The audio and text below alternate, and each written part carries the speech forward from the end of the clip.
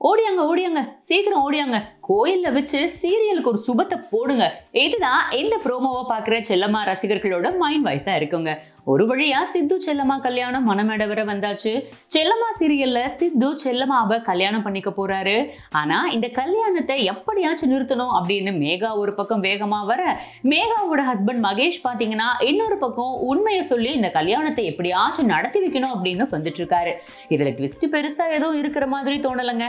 தாலி கட்ட போற நேரத்துல மேகா வந்து நிறுத்துங்க அப்படின்னு கல்யாணத்தை நிப்பாட்ட போறாங்க. அவங்க பக்கம் பக்கமா டயலாக் பேசி கல்யாண மேடையில இருந்து சித்துவை இறக்கி எனக்கு நீ தாலி கட்டணும் அப்படின்ற மாதிரி பிரச்சனை பண்ணி தாலி கட்ட போற நேரத்துல கடைசி மகேஷ் என்ட்ரி கொடுப்பாரு. அவர் என்ன சொல்லுவாரு? மேகா உன் வயிற்றுல வளர்ற குழந்தைக்கு நான் தான் காரணம். அன்னைக்கு என்ன நடந்துச்சு அப்படின்ற மாதிரி அந்த கதையை அவரு சொல்ல போறாரு. அப்புறம் என்ன? எல்லா ஜோடியும் ஒண்ணு சேர போகுது. அடுத்து என்ன நடக்கும்? செல்லம்மாவோட ஃபர்ஸ்ட் ஹஸ்பண்டை பிடிச்சி ஜெயில போடணும். இன்னொரு பக்கம் மேகாவோட அப்பா அப்படின்னு சொல்லிட்டு இருக்கிற இந்த ஆளை பிடிச்சி ஜெயில போடணும்.